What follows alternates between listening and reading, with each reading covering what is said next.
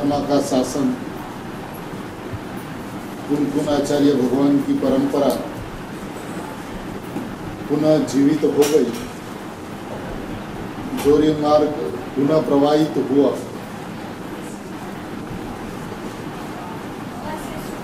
पाखंडों के जड़ सारे के सारे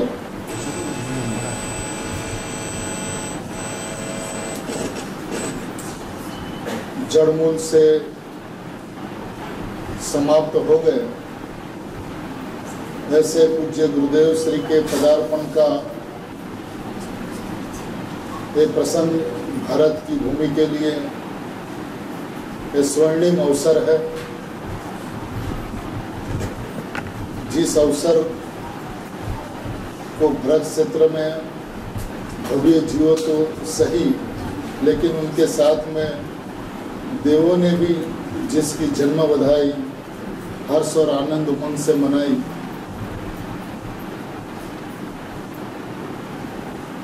जिनका सम्यक दर्शन इतना पवित्र था कि जिस सम्यक दर्शन की बधाई भी देवों ने दी, कि जिस सम्यक दर्शन के वजह से महावीर शासन पे छाया हुआ नूर की अंधकार पूरा ध्वस्त होकर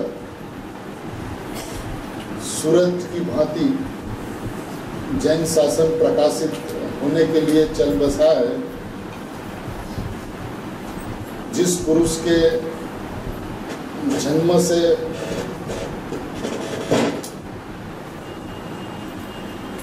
जगत इतना लाभान्वित हुआ है कि इसकी गुण गाथा शब्दों में गाई नहीं जा सकती।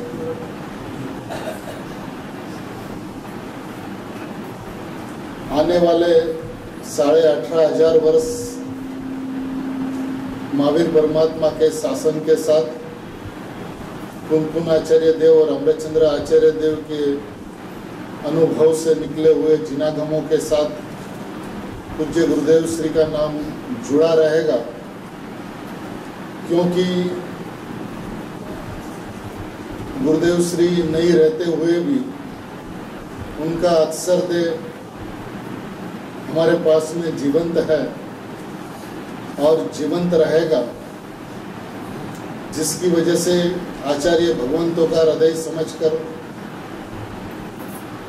गुरुदेव श्री का हृदय समझकर, भव्य जीव आत्म कल्याण के पथ पर खूब ही आसानी से इस पथ पर प्रवेश कर पाएँगे। ऐसा लगता है कि मानो जो कार्य अनादिकाल से अनंत तीर्थंकर परमात्माओं के सानिध्य में, अनंत ज्ञानियों के सानिध्य में नहीं हो पाया वो जिस पुरुष को पाने से सहज मात्र में हो गया, ऐसे पूज्य गुरुदेव श्री भव्य जीवों के लिए अनंत तीर्थंकरों से अधिक है। सुगानी जी साहब दृष्टांत देते हैं कि यदि हमारी जरूरियात करोड़पति से न हो और लाखोंपति से हो जाए तो लाखोंपति हमारे लिए उस करोड़पति से अधिक है। यह एक ऐसा गुरु तत्व था, यानी इस युग में बहुत हुए और बहुत होंगे। पंचम काल के अंत तक यह प्रवाह बना रहेगा। लेकिन गुरु तत्व हमेशा, गुरु तत्व ही रहता है। जिनकी ध्वनि सुनते ही ऐसा लगे कि जानो मानो हमने ओम ध्वनि को पा लिया। ओम ध्वनि के सार को पा लिया बार अंक चौथ पूर्व के सार को पा लिया। जिनागम के अंदर में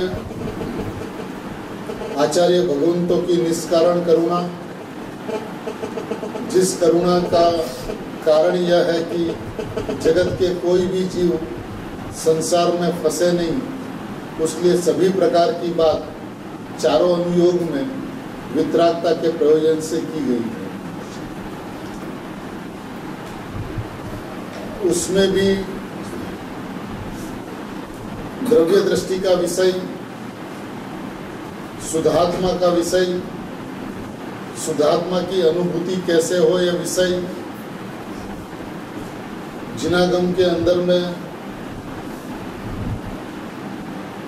व्यवहार नहीं की अपेक्षा से कम पाया जाता है।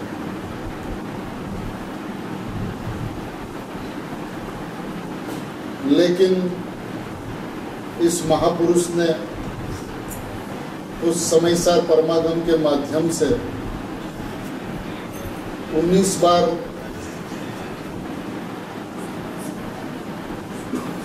प्रवचन करते हुए एक सुधात्मा की महिमा जिस तरह से बखाई है, सही में ये भरत क्षेत्र का धन्य फल है। क्योंकि दृष्टि का विषय जब तक हाथ नहीं लगता, तब तक सुधात्मा के ऊपर दृष्टि नहीं जाती। प्रमाण ज्ञान की मर्यादा में अनंत बार आकर प्रमाण के लोभ से जीव व्यवहार का निषेध नहीं करते हुए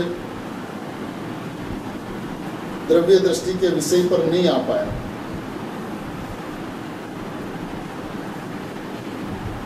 अपूर्व ऐसा निश्चय ने का पक्ष एक बार भी नहीं आया। उसका कारण अनादि का अपना जो पक्ष रहा, तीन जगह पर। प्रथम व्यवहार ने का पक्ष, दूसरा प्रमाण का लोभ, और तीसरा निश्चय, निश्चयाभास का डर। ये तीन जगह पर जीव अनादिकाल से फंसता हुआ व्यवहार का निर्दयता पूर्वक निषेध नहीं कर पाया। और निषेध जब जब किया तब निश्चय नहीं से वस्तु का स्वरूप ऐसा है, शुद्ध नहीं से वस्तु का स्वरूप ऐसा है, द्रव्य दृष्टि की अपेक्षा से वस्तु का स्वरूप ऐसा है, वैसा माना। तो उस परिस्थिति के अंदर में परमात्मा स्वभाव के ऊपर में, परम पारणामिक भाव के ऊपर में जो वज़न आना चाहिए, उसमें जिस तरह से अहम होना चाहिए, सर्वस्व समर्पणता का भाव होना चाहिए, श्रद्धा का श्रद्धेय जिस तरह से बनना चाहिए, उस तरह से बन नहीं पाया। मार्ग सरल होते हुए भी उनके लिए कठिन बना रहा।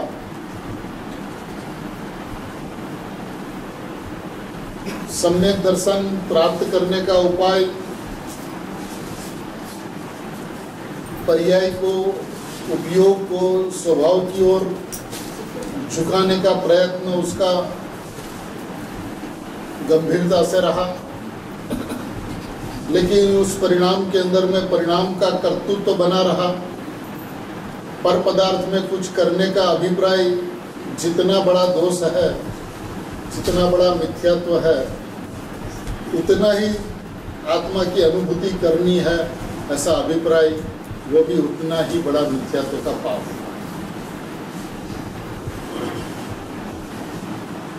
जिनवाणी के अंदर में आचार्य भगवंतों के माध्यम से ज्ञानियों के उपदेश से एक कथन आते हैं कि सम्यक दर्शन कैसे हो? सम्यक दर्शन प्राप्त करने की विधि क्या है? इस प्रवचन के अंदर में भी गुरुदेव श्री ने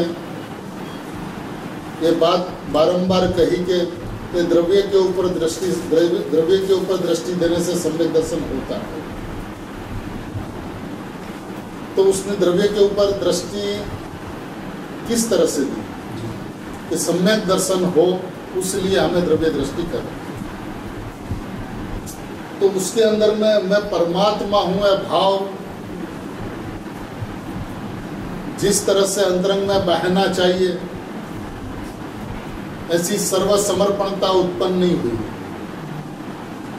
परिणाम के अंदर में परिणाम की प्राप्ति हो, परिणाम शुद्ध हो, इस अभिप्राय से उसने मैं परमात्मा हूँ, ऐसा कहा, ऐसा माना। जबकि अनुभूति का विधान यह है कि जब परिणाम को परिणाम में खड़े रहने की जगह न मिले, ऐसा सर्व समर्पणता सुधात्मा के प्रति हो, तब उस परिणाम के अंदर में सम्यक दर्शन बसता।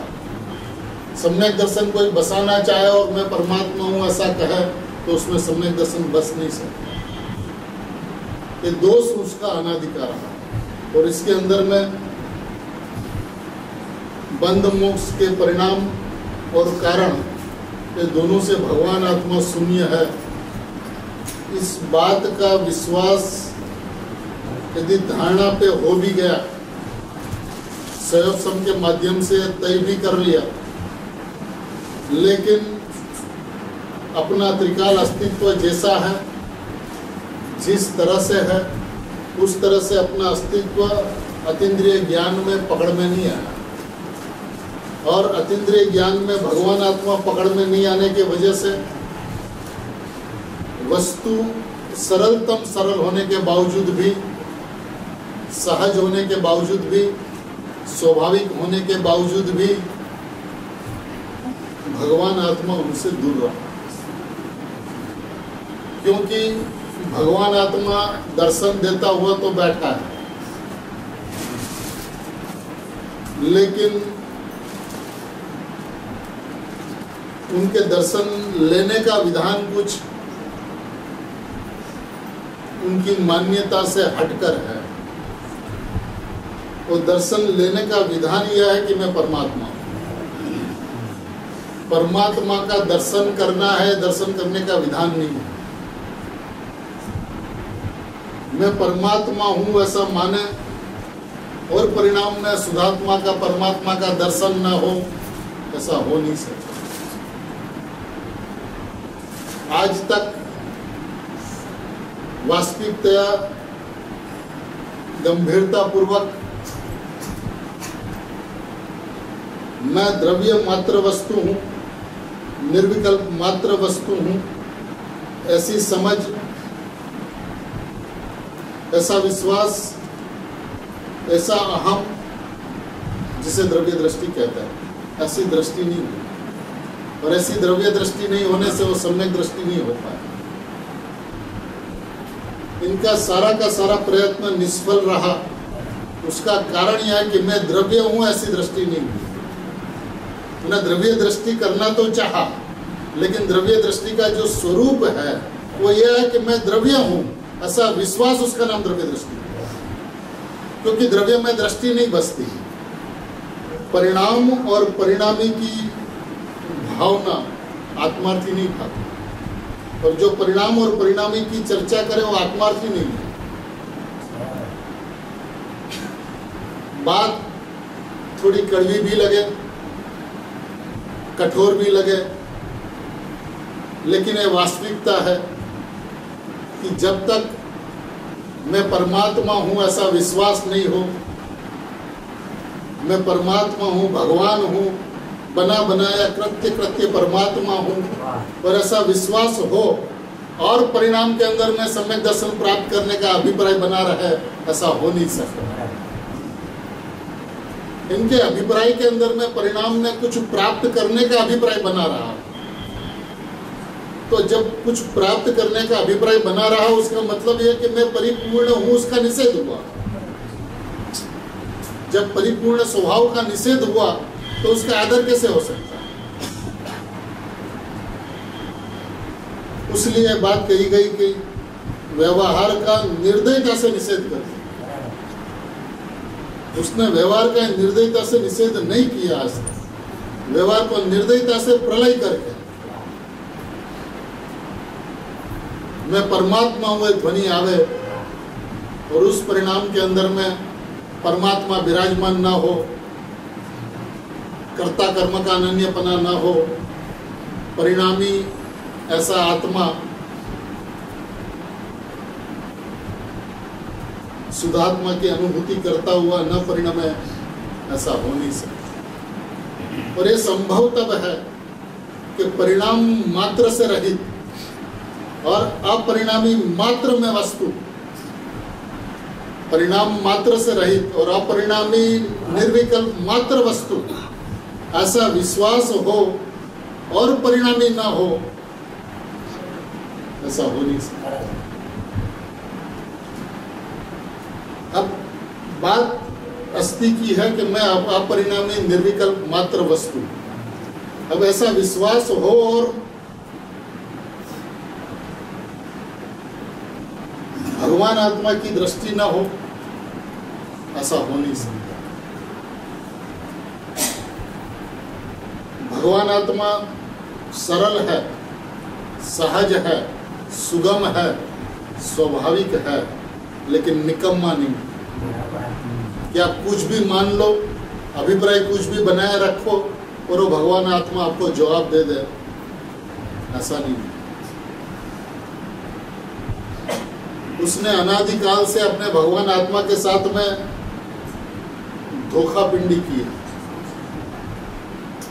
कि बोलता तो रहा मैं परमात्मा हूँ, भगवान आत्मा हूँ, लेकिन एक पल के लिए भी मैं भगवान हूँ ऐसा माना नहीं बोलना कुछ और मानना कुछ, इसकी शोध हमेशा परिणाम को तलाशने में, परिणाम को तपासने में, परिणाम को व्यवस्थित करने में, परिणाम के दोष मिटाने में, उसका सारा का सारा जीवन व्यतीत हो गया। लेकिन मैं अपरिणामी हूँ, ऐसा विश्वास हो और परिणाम के अंदर में क्षण मात्र के लिए भी कोई दोष रह जाए, ऐसा हो नहीं सकता।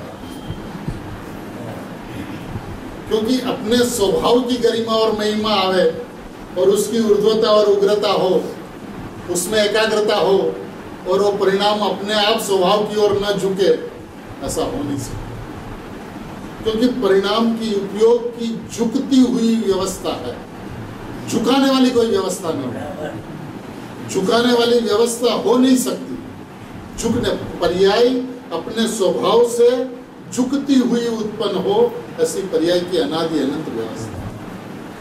और एक जुक्ति किस तरह से है? तो जुक्ति उसके अभिप्राय के मुताबिक, उसकी वृत्ति के मुताबिक, उसकी मान्यता के मुताबिक, उसके विश्वास के मुताबिक, उसके अहम के मुताबिक। यदि मैं अपरिणामी परमात्मा हूँ ऐसा विश्वास हो और परिणाम, अपरिणामी का दर्शन करते हुए न उत्पन्न हो, परिणामी रूप न परिणमे ऐसा हो नहीं सकता तो उसलिए गुरुदेव श्री इस तीन सौ बीसवें गाथा के जैसे आचार्य भगवान की टीका के तीसरे प्रवचन के अंदर में ये बात को अत्यंत स्पष्ट करते हुए चौवालीसवें प्रश्न पे ये कहते हैं भारे बात भाई, बंध मोक्ष का कारण અને બંધ મોક્ષ રૂપી પરિણામ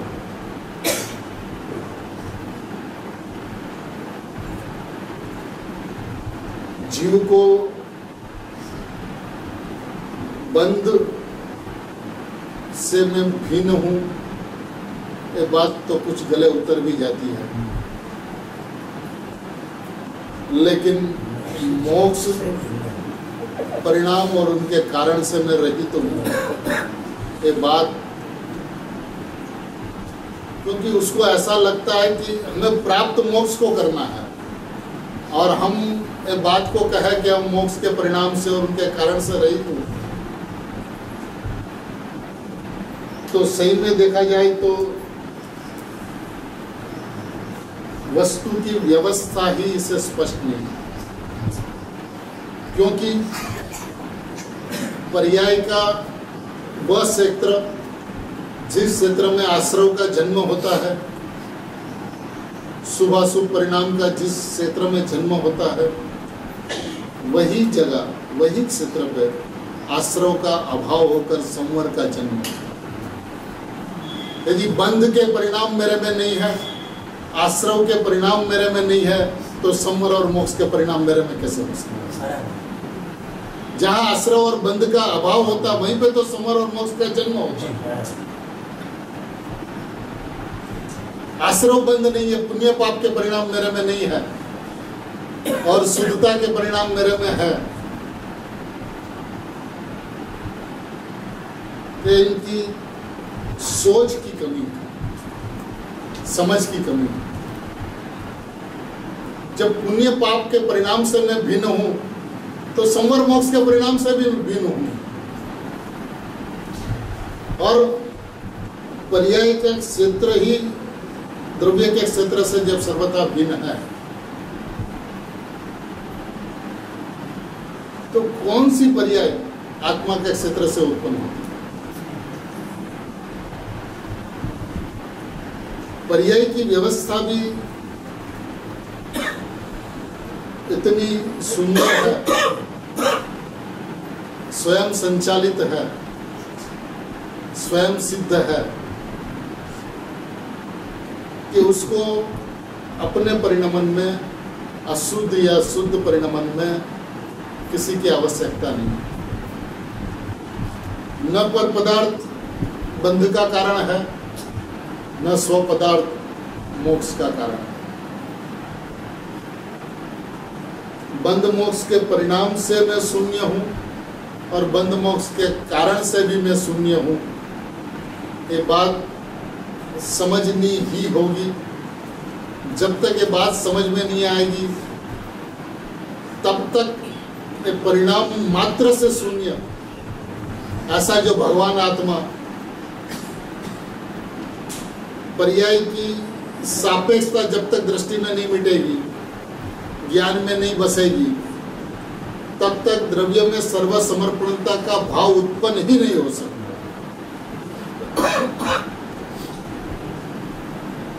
उसने हमेशा सापेक्षता को साथ में लेकर चला। लेकिन प्रवचन सार परमागम के पर्याय सत और द्रव्य सत की जो व्यवस्था, सही माने में जिस तरह से की गई है, बतलाई गई है, उस तरह से उसने स्वीकार नहीं किया। पर्याय सत्य है तो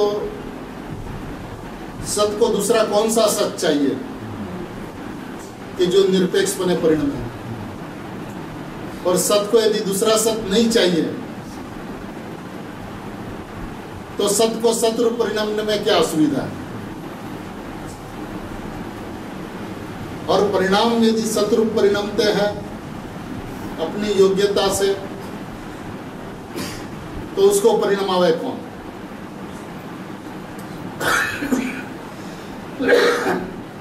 और यदि उसको कोई कोई परिणाम नहीं सकता तो फिर आप उसकी ओर ताकते क्यों? माने किसी भी एंगल से देखा जाए तो परिणाम की व्यवस्था समझ में आते ही परिणाम के ऊपर से दृष्टि हट जाएगी और परिणाम के ऊपर जो दृष्टि हटती है, वो दृष्टि सीधी द्रव्य के ऊपर जाती है। रहित की बात भी श्रद्धेय का श्रद्धान दृढ़तम कराने के लिए है। फिर आगे चलकर ये बात भी उसे खटकती है कि अब जिससे मैं रहित हूँ, जिससे मैं शून्य हूँ, उसकी बात बारंबार क्यों करें? क्या प्रयोजन है हमें उससे? और जब उससे कोई प्रयोजन ही नहीं है तो ये हमारे लिए तो अप्रयोजन भूत है। और जब अप्रयोजन भूत है तो उसकी चर्चा बंद करें। उसको ऐसा लगता है कि मैं अपरिणामी परमात्मा हूँ और परिणाम से रहित तो हूँ। ये दोनों बात अपने अस्थि की सर्वोपरिता और परिणाम की मेरे में नास्ती है, उसकी व्यवस्था समझ में आने के पश्चात वो दोनों बात को करते नहीं रहता। वो एक बात पे डट जाता है, जम जाता है धीम हो जाता है। और आज तक उसके साथ ऐसा नहीं हुआ। और जब वो सहित और रहित, सहित और रहित मन में अपरिणामी परमात्मा हूँ, ऐसा कहे, ऐसा बोले, ऐसा समझे और उसी के साथ प्रमत अप्रमत से रहित हूँ। ये गुण भी साथ में ये पर्याय की गाथा भी साथ में गाता रहे तो उसका मतलब यह है कि अभी तो ज्ञान से ही बाहर नहीं आया। सही तो रहित तो अनेकांत की बात है ना? अस्थि नास्ति तो अनेकांत की बात है श्रद्धा की बात ही नहीं है। मैं परमात्मा हूँ ऐसे बोलने पर भी ऐसा श्रद्धान में लेने पर भी वो श्रद्धा ही में नहीं आया। क्यों नहीं आया? तो साथ साथ में परिणाम से रहित पना भी गाता रहा। तो एक ज्ञान का विषय बन गया श्रद्धा का श्रद्धा ही नहीं बना।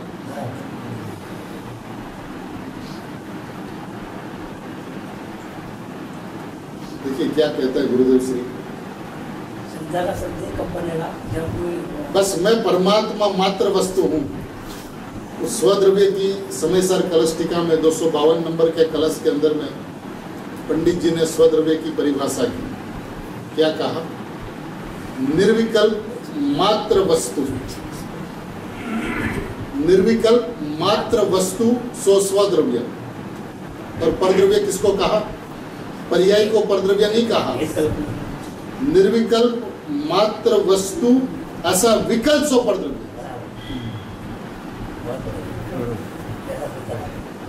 मैंने कैसा विकल्प? जैसी वस्तु है वैसा विकल्प। वो परद्रव्य और जैसी वस्तु है, सो स्वद्रव्य मैंने जैसी वस्तु है, उसका विकल्प भी नहीं पोसा कल कहा था कि वो, मैं परमात्मा हूँ ऐसा विकल्प, परमात्मा को पीठ देकर खड़ा होता है। जब परमात्मा को पीठ देता है हर तब मैं परमात्मा हूँ, ऐसा विकल्प उत्पन्न होता है। और नहीं पोसा तो आत्मार्थी को ये बात। और बात दृढ़तम नहीं हुई, इसलिए आचार्य भगवान के इस हृदय को पूज्य गुरुदेव श्री ने तीसरे प्रवचन के पंक्ति पंक्ति के अंदर ने इस बात को जम के स्पष्ट किया उसको ये बात का विश्वास ही नहीं बैठता कि बंद मोक्ष के परिणाम और कारण से मैं शून्य हूँ।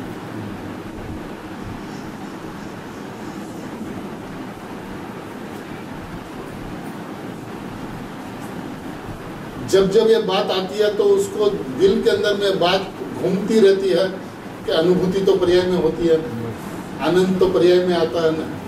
मोक्ष मार्ग तो पर्याय में होता है ना पूर्ण सुख तो मोक्ष दशा में प्रकट होगा वो पर्याय है ना। कार्य में माने जब तक ये विकल्प चलते रहता है तब तक त्रिकाली ध्रुव परमात्मा मैं हूँ ऐसा विश्वास हो ही नहीं सकता।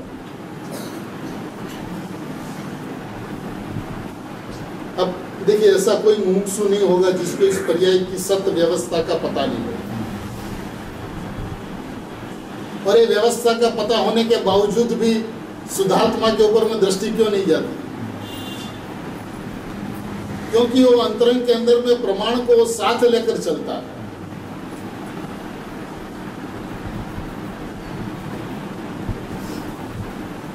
इसलिए ऐसा कहा कि परिणाम और परिणाम की चर्चा करे, सो आत्मार्थी नहीं।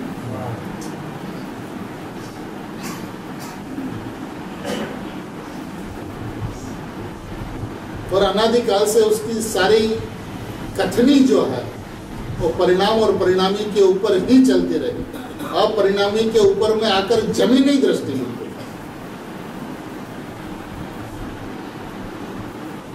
तत्व के ऊपर आकर जमी नहीं दृष्टि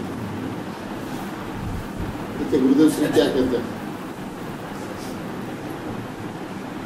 बंद मोक्ष के कारण और बंद मोक्ष रूपी परिणाम दो ही लेना।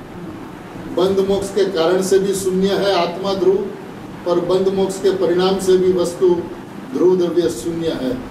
उसका नाम અહીં भगवान ध्रुव चीज़ जीव कहने में आता है।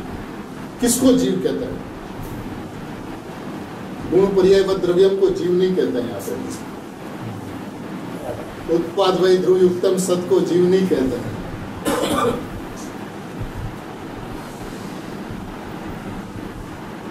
गुण गुणी के भेद को जीव नहीं कहते।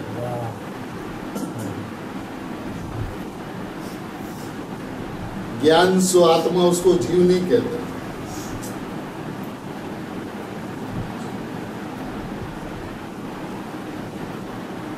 और ऐसा निषेध आए बिना वो शुद्धात्मा के ऊपर में चिपक नहीं सकता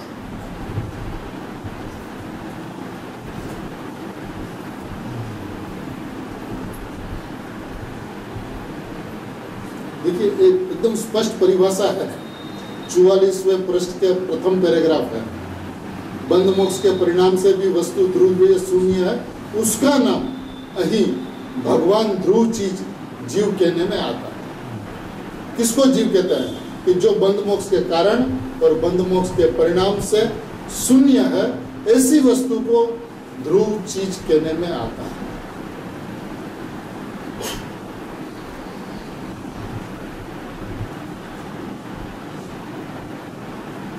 ये ऊपर दृष्टि देने से, ये ध्रुव चीज़ के ऊपर, कौन सा ध्रुव चीज़ जो बंद मोक्ष का परिणाम और बंद मोक्ष के कारण से शून्य है, ऐसा जो जीव द्रव्य है, ऐसा जो ध्रुव तत्व है, ऐसा जो गायक भाव है, ऐसा जो अपरिणामी परम परिणामी भाव जो है, उसके ऊपर दृष्टि देने से सम्यक दर्शन होता है। माने अन्यथा दृष्टि देने से सम्यक दर्शन नहीं होता है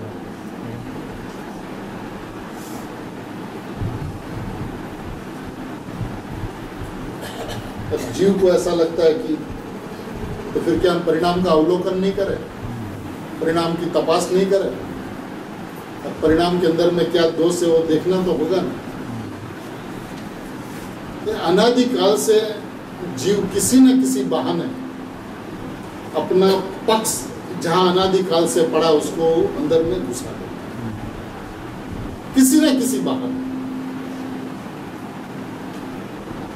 उसलिए वस्तु सामने होने के बावजूद भी प्रकट होने के बावजूद भी प्रत्यक्ष होने के बावजूद भी हाजरा हजूर होने के बावजूद भी विद्यमान होने के बावजूद भी प्रत्यक्ष होने के बावजूद भी उससे वो दूर रहा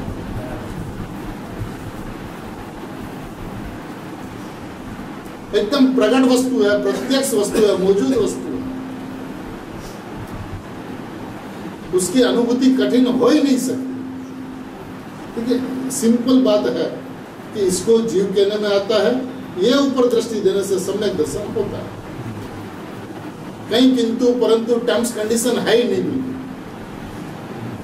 मतलब हाँ दृष्टि देने से मैंने मैं परमात्मा हूँ ऐसा विश्वास ऐसा अहम ऐसा एकत्व ऐसा लक्ष्य।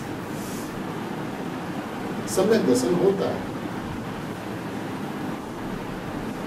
मैंने जहाँ मैं परमात्मा हूँ, ऐसा विश्वास हुआ, वहाँ सम्यक दर्शन होता है। प्रयत्न, सम्यक दर्शन माने क्या? सच्चा देखना। सम्यक ज्ञान माने क्या? सच्चा जानना। अब सच्चा जानने का मतलब क्या? स्वयं परमात्मा है, ऐसा जाने, उसका नाम सम्यक ज्ञान। अब ये कठिन कैसे हो जाए वाह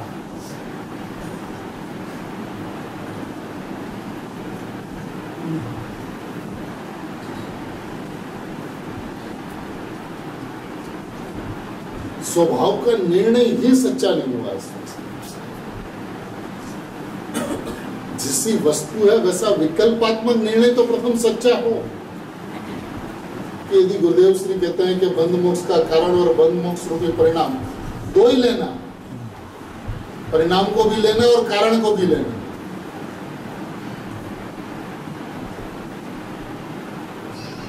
बंध मोक्ष के परिणाम से शून्य हो। भगवान आप कहते हैं तो हम सुन लेते हैं मान लेते हैं। लेकिन भगवान आत्मा की दृष्टि करे और अनुभूति नहीं हो, उसको कैसे मान ले? तो भगवान आत्मा का लक्ष्य करने से तो अनुभूति होती है। तो भगवान आत्मा कारण है और दर्शन हुआ, सो कार्य है।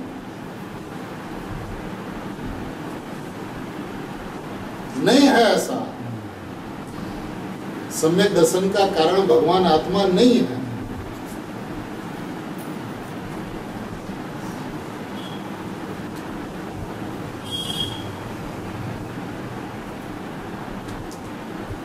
उसको तो यही बात समझ में आती है कि भगवान आत्मा की दृष्टि करने से, कारण के दृष्टि करने से, कारण के लक्ष्य से कार्य प्रकट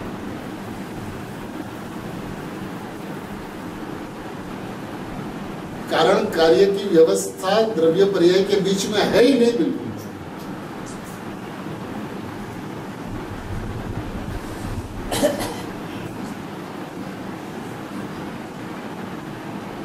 अरे बात इससे गले से नीचे नहीं उतरती अटक जाती गले में बात પણ કારણ નથી જ્યાં સુધી આ સાંભળ્યું છે અત્યારે આપણે શું સ્વતંત્ર પણ કારણ નથી નથી ને કારણ જેમ પરદ્રવ્ય નથી એમ સ્વદ્રવ્ય નથી જેમ પરગ નહીં એમ સ્વાગ નહીં જેમ પદ્રવ્ય એવી રીતે સ્વદ્રવ્ય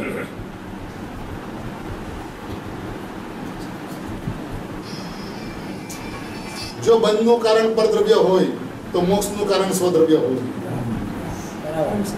ખરાબ છે. સિદ્ધાંત તો એક સરખો બધો લાગુ પડે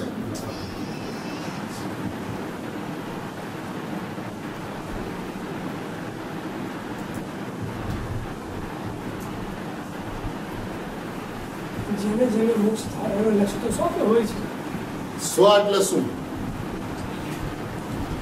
मैं परमात्मा हूं ऐसी घोषणा पर्याय अपने आप द्रव्य की अपेक्षा बिना, द्रव्य का आधार लिए बिना निरालंबन पने मैं परमात्मा हूँ ऐसी घोषणा करती परमात्मा हूँ ऐसा घोषणा करने वाली पर्याय अपने आप को पर्याय नहीं देखती और उसको पूछा जाए कि परिणाम के अंदर में तो सारी बातें चलती है तो परिणाम को जाके पूछो? मेरे को मत पूछो, मैं तो परमात्मा हूँ।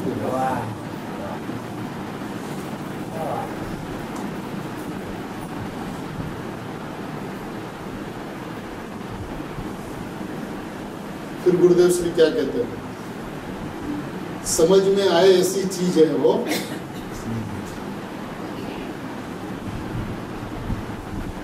अब तुझे कठिन लगती है, लेकिन समझ में आए ऐसी चीज़। एक बार ऐसा मान तो सही भैया। तूने इस बात को एक्सेप्ट नहीं किया सच कहता हूँ, एक बार भी ये बात एक्सेप्ट नहीं। और एक्सेप्ट हो जाए और सम्यक दर्शन नहीं हो, ऐसा हो नहीं सकता।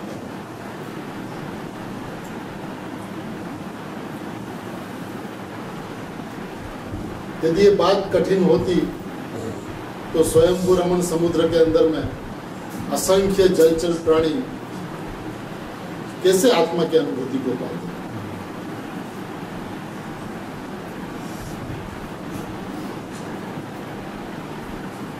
विश्वास ही नहीं किया इस बात કે સાહેબ એ ભગવાન આત્મા ઉપર દ્રષ્ટિ કરે છે ત્યારે તો અમને અનુભવ થાય છે આપ કહો છો કે કારણથી શૂન્ય છે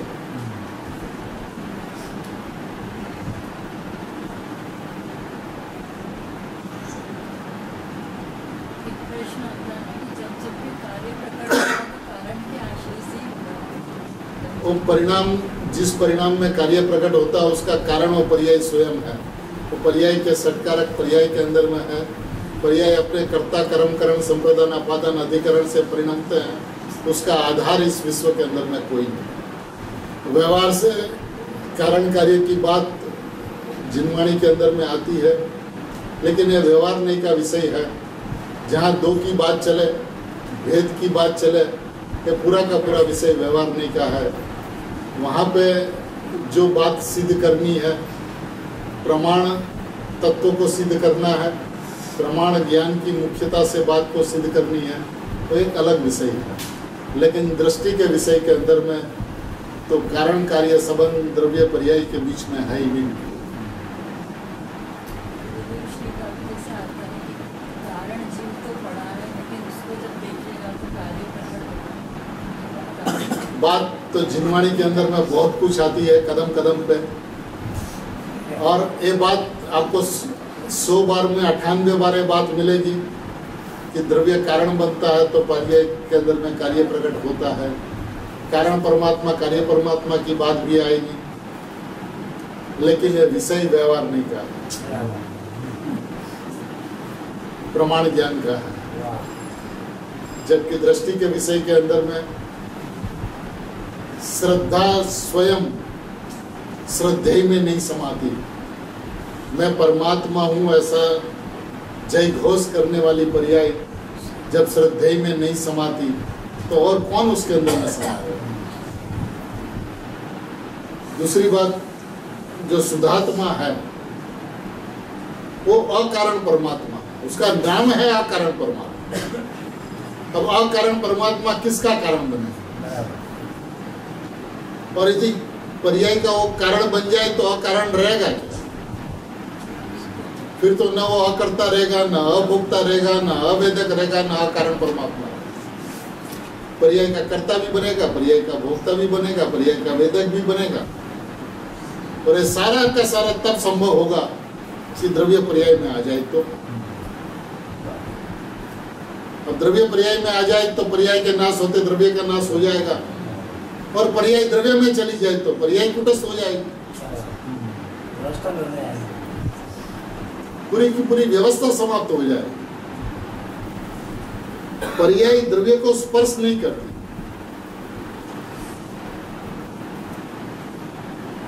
देखिए एक में सुंदर गुरुदेव श्री को प्रश्न पूछा गया था।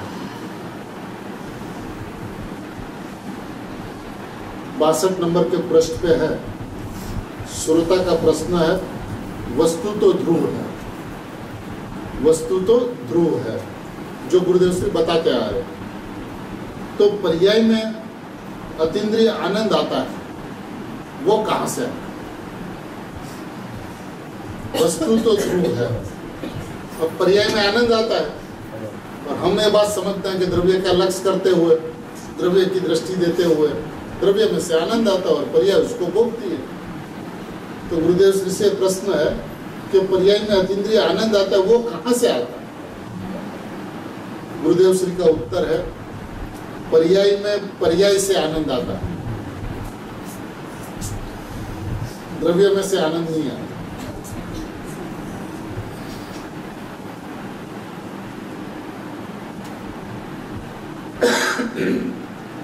फिर न्याय देते गुरुदेव श्री। पर्याय में पर्याय से आनंद आता है, ऐसी है बात। अलौकिक बात। पर्याय भी सत्य है कि नहीं? सत्य है कि नहीं? है, उसको आलम दूसरा का क्या? यदि पर्याय सत्य है तो सत्य है तो दूसरा का आलंबन क्या? यदि द्रव्य को कारण माना जाए तो फिर तो द्रव्य का आलंबन, दूसरा का आलंबन हुआ। तो फिर वो पर्याय सत्य नहीं रही। समझ में आया? सुख का सागर भगवान। पण पर्याय में सुख का अनुभव हो, वो धर्म। ये पर्याय में सुख का अनुभव होता है, द्रव्य का अनुभव नहीं होता। अब द्रव्य का अनुभव नहीं होता तो द्रव्य कारण भी नहीं। द्रव्य तो ध्रुव है, कुटस्थ है, एक रूप है, सामान्य है, अभेद है। अब परिणमते हुए परिणाम का कुटस्थ कारण बने तो कैसे बने?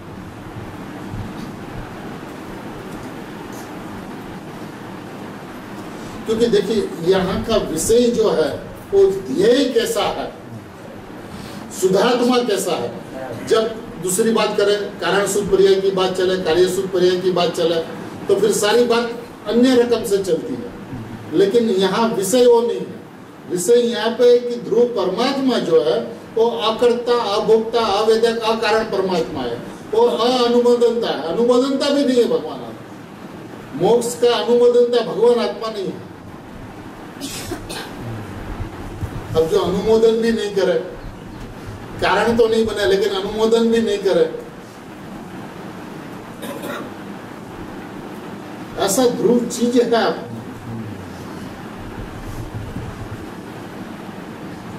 ध्रुव, द्रव्य तो ध्रुव है, कुटस्थ है, एक रूप है, सामान्य है अवैध है।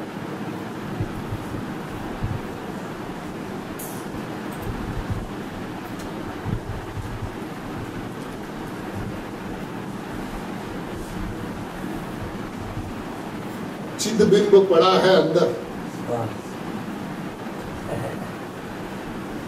ज्ञान बिंब पड़ा है अंदर। ध्रुव सत है। वस्तु का स्वरूप ध्रुव। ये जीव अपनी पर्याय जो कहने में आती है, उसका भी कर्ता भोक्ता नहीं। अब पर्याय अपनी कहने में आती है, लेकिन उस पर्याय का ए ध्रुव, ए जीव कर्ता भोक्ता नहीं।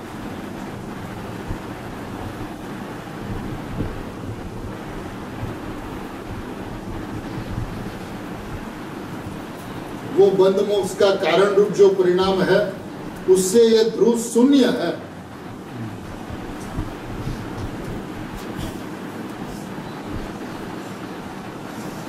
सुधात्मा की ऐसी मस्ती चढ़े बिना सुधात्मा में अहम नहीं हो सकता।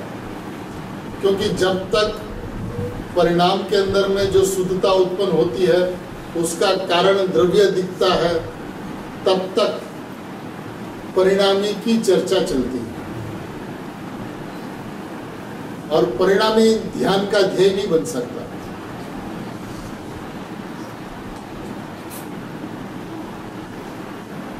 यदि परिणामी ध्यान का ध्येय बन जाए तो ध्यान करने वाला ही नहीं रहा। कि परिणामी तो द्रव्य पर्याय स्वरूप वस्तुओं परिणामी है। अब यदि परिणामी ध्यान का ध्येय बन जाए तो कौन ध्यान करेगा?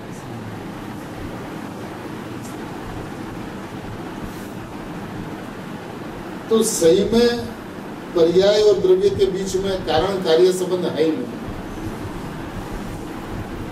दृष्टि के विषय के अंदर में तो द्रव्य स्वभाव जो है पूरा निरपेक्ष है बिल्कुल। परिणाम भी निरपेक्ष और द्रव्य भी निरपेक्ष।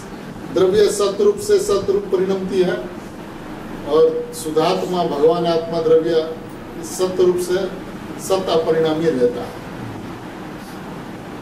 बदलते हुए परिणाम का कारण, बदलते हुए परिणाम हो सकते हैं, बदलते हुए परिणाम का नहीं बदलता हुआ ध्रुव कुटस्थ नहीं हो सकता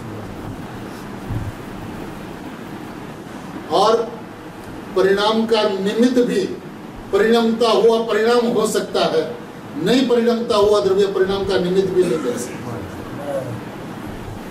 दो द्रव्य के दो पर्याय के बीच में निमित्त नैमित्तिक संबंध हो सकता है। लेकिन पर्याय और द्रव्य के बीच में निमित्त नैमित्तिक संबंध नहीं हो सकता। तो उसका मतलब यह हुआ कि पर्याय और द्रव्य के बीच में कर्ता कर्म संबंध भी नहीं है, निमित्त नैमित्तिक संबंध भी नहीं है, और ज्ञाता यह संबंध भी नहीं है। जब तक परिणाम का कर्ता जीव या परिणाम का निमित्त जीव या परिणाम का ज्ञेय जीव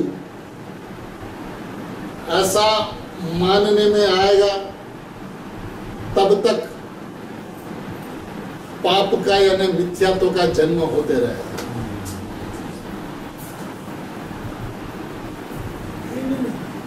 है ना, कैसे यदि ज्ञेय है तो फिर भेद पड़ेगा। जानने वाला ज्ञान और आत्मा मेरा ज्ञेय। तो जब तक वो ज्ञेय मानेगा, तब उधर ज्ञेय और इधर ज्ञान। भेद पड़ता रहेगा। तो ज्ञेय भी में, ज्ञान भी मैं और ज्ञाता भी मैं। ऐसी व्यवस्था है ना, जहाँ ज्ञान ज्ञेय का भेद मिट जाए, उसका नाम ज्ञाता। ध्यान ध्येय का भेद मिट जाए, उसका नाम ज्ञाता। तो ज्ञाता और ध्याता तो परिणामी तत्व है। लेकिन मैं तो ध्येय हूँ बिल्कुल। मैं ज्ञेय नहीं हूँ। जगत में न तो मेरा कोई करता है।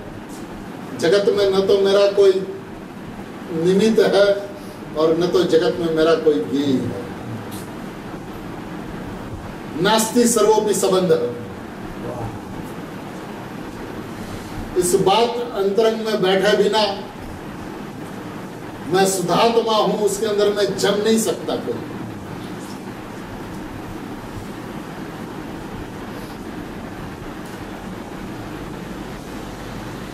और अंतरंग में ये बात उंडे उंडे उंडे उंडे उंडे उंडे किसी न किसी कोने में पड़ी है उसलिए पर्याय की सर्वार्पणता सुधात्मा के प्रति नहीं होती उसलिए वो श्रद्धा का श्रद्धा ही नहीं बन पाता। कि पर ये मेरे नहीं, लेकिन स्वगेय तो मेरा है ना।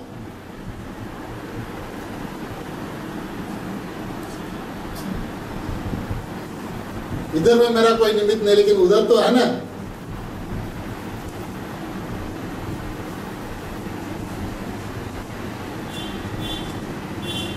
दो द्रव्य के दो परिणामों के बीच में कर्ता कर्म संबंध नहीं है। लेकिन एक द्रव्य के एक द्रव्य पर्याय के बीच में तो कर्ता कर्म संबंध है ना। प्रतिपल जीव मरता है इस विषय के अंदर। क्योंकि शुद्धात्मा के ऊपर कलंक लगता है इस परिणाम से। इसकी निष्प्रता, इसकी निरपेक्षता, इसकी संपूर्णता, इसकी कृत्य कृत्यता इसकी परिपूर्णता दृष्टि के अंदर में ओझल होती है इस परिणाम से। भगवान हूँ बोलने से मैं भगवान हूँ ऐसा माना नहीं जाएगा। और पर मानना तो ईमानदारी से मानना। कि कार्य नाम की व्यवस्था विश्व में कोई है, मैं नहीं जानता। क्योंकि वो मेरी सत्ता में नहीं बसता। जो मेरी सत्ता में नहीं बसता, उसको मैं नहीं जानता। और मेरे में जानना नहीं, ऐसा नहीं है। मेरे में त्रिकाल का जानना त्रिकाल पड़ा हुआ है। ये पर्याय की बात नहीं है।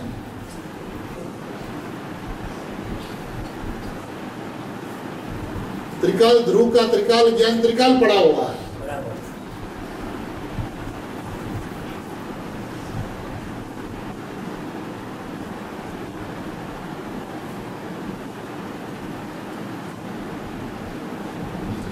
दृष्टि के विषय की ऐसी मस्ती चढ़े बिना सुधात्मा के अंदर में वो बैठ नहीं सकता, जम नहीं सकता। इधर में जमने की बात है, रमने की बात है, धीम हो जाने की बात है। और जब तक कारण कार्य की व्यवस्था उनके दिमाग में घूमती रहती है, तब तक मैं अकारण परमात्मा हूँ बात तो बैठती नहीं।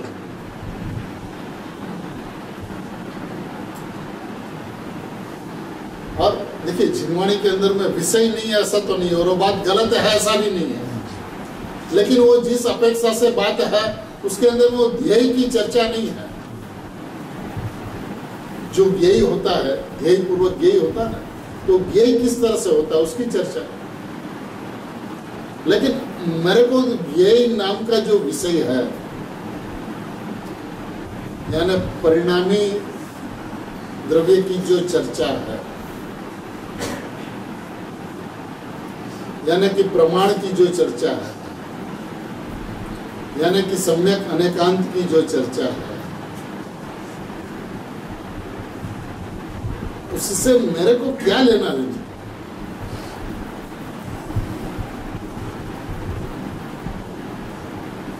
यदि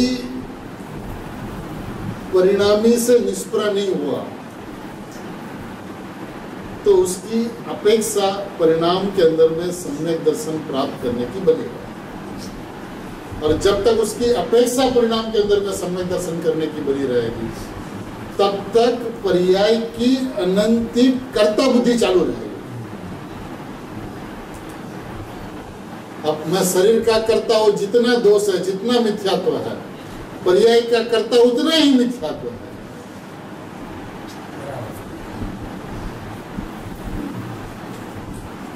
कैसे आएगा? स्वभाव के ऊपर कैसे आएगा? त्रिकाली परमात्मा उसके ऊपर कैसे आएगा? कि द्रव्य पर्याय को भिन्न भिन्न सत्ता माने। जब तक वो उसको दो सत्य मानेगा, तब तक एक सत्ता दिखेगी। एक सत्ता के दो सत्य दिखेंगे। और जब एक सत्ता के दो सत्य दिखेंगे तो एक अंश, दोनों अंश दिखेंगे।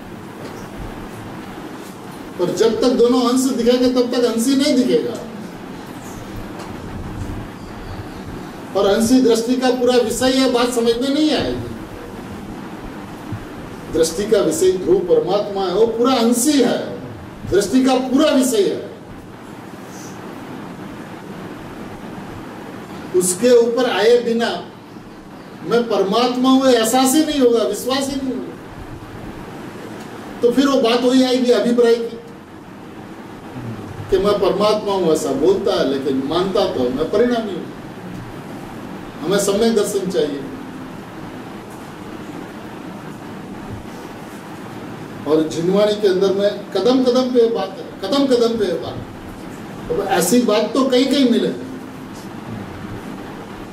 लेकिन तब उसको ग्यारहवीं गाथा के जो न्याय है उसको लगाना होगा। व्यवहार नहीं, सगड़ो या सत्यार्थ है भूतार्थ सगड़ो बद्धो है व्यवहार। चारों प्रकार का व्यवहार, सद्भुत, असद्भुत। उपचरित अनुच्चरित। सारा का सारा व्यवहार में असत्यार्थ अभूतार्थ झूठा है। और ऐसा लगे बिना सत्यार्थ पे आ नहीं पाएगा, परमार्थ पे आ नहीं पाएगा, भूतार्थ पे आ नहीं पाएगा।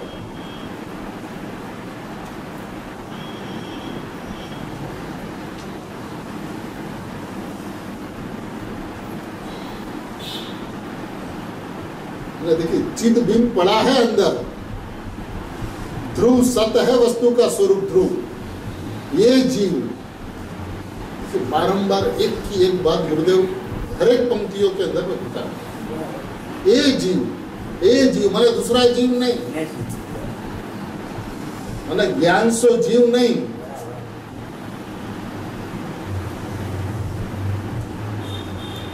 संवर निजरा मोक्ष के परिणाम जिसके लक्ष्य से उत्पन्न होता है, वो जीव नहीं।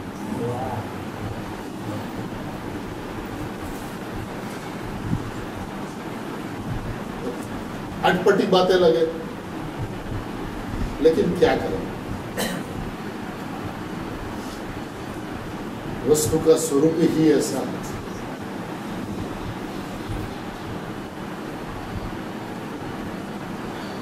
देखिए एक वक्त ऐसा था कि जब समय सार, नियम सार, प्रवचन सार, आदि ग्रंथ आदि राज उपलब्ध नहीं थे, तब भी ज्ञानी हुए। आत्मा सौम्य और राज सौम्य नहीं, ऐसा निर्णय किया और आत्मा की अनुभूति हो गई आज गुरुदेव के प्रताप से सारे परमागमों का, विहंगावलोकन विशेष रूप से सभी परमागमों का अच्छी तरह से स्वाध्याय, चिंतन, मनन, दो घंटा, चार घंटा, छह घंटा, आठ घंटा, बारह घंटा सभी का चलता है और उंडे उंडे कहीं ना कहीं व्यवहार का पक्ष अंतरंग में पड़ा हुआ। तो जहाँ व्यवहार की बात आती है, उस बात को पकड़ते हुए वो तो जिनवाणी में से बाहर निकल जाए और जहां ऐसी निश्चय की बात आती है सुधात्मा की बात आती निश्चय की माने सुधात्मा की निश्चय की माने परमात्मा की निश्चय की माने मेरी बात जहां आती है આ તો નિશ્ચય આ તો નિશ્ચયની વાત છે અરે ભાઈ નિશ્ચયની વાત છે તો મારી વાત છે સાચી વાત છે પરમાર્થ વાત છે આદર કરવા લાયક વાત છે સત્કાર કરવા લાયક છે અપનાવવા લાયક વાત છે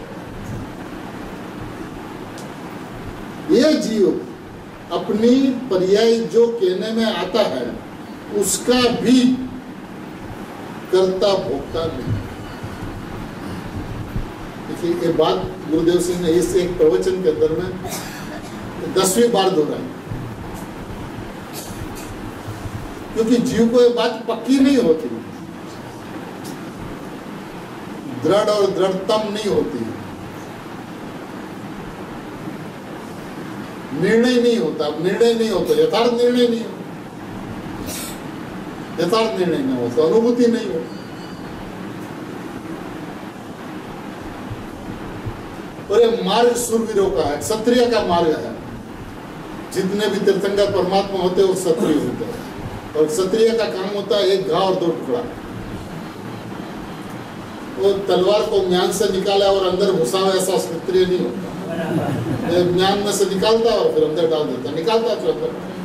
तो तलवार चला नहीं सकता। वस्तु तो द्रव्य पर्याय स्वरूप है ना। उत्पाद वही ध्रुव युक्तम सत्य है ना। अरे द्रव्य और पर्याय भिन्न भिन्न सत्ता है। ऐसा दो टुकड़े किए बिना। मैं सुधात्मा हूँ, परमात्मा हूँ, भगवान हूँ। ऐसा विश्वास नहीं हो सकता। पर यदि ऐसा दो टुकड़ा कर दिया तो ये जुड़ जाएगा। स्वभाव में अभिवृद्धि हो जाएगी। सम्यक दर्शन हो जाएगा।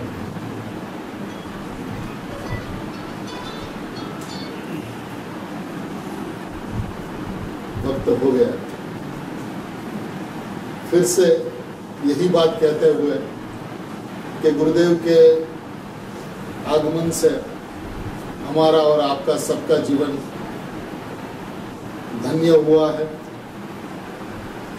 एक बात निश्चित है कि जिनको गुरुदेव श्री का सानिध्य मिला है, वो निश्चित रूप से मोक्ष में जाने वाला है। इस बात का अखंड विश्वास है। इस युग में गुरुदेव को वही पा सकता है कि जिनके अंतरंग में ऐसी योग्यता पक चुकी है कि वो अति अवश्य मोक्ष में जावे जावे और जावे। उसी को इसी कलयुग के अंदर में, जैसे उंडा अवसरपणी काल के अंदर में, पूज्य गुरुदेव श्री, जैसे महापुरुष का, धन्य अवतार पुरुष का, तीर्थंकर वत पुरुष का योग मिलता है। तो आज हमें गुरुदेव मिले हैं तो ये बात तो निश्चित है कि हमको मोक्ष में ले जाने के लिए मिले। तो इसमें कोई संदेह न रखे कि अब क्या होगा।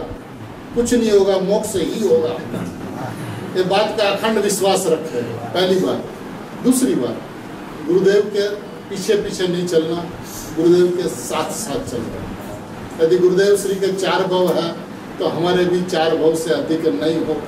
ऐसा विश्वास रखते हुए, गुरुदेव के साथ साथ चलते हुए, शुद्धात्मा, भगवान आत्मा, परमात्मा मैं हूँ, ऐसा विश्वास को पल प्रतिपल दृढ़तम करते हुए, इसी विषय का स्वाध्याय करते हुए, चिंतन मनन भोलन के अंदर में भगवान आत्मा को ही दृढ़ से दृढ़तम, दृढ़तर करते हुए हम आगे बढ़े, गुरुदेव के साथ साथ चले और साथ साथ कब तक चले?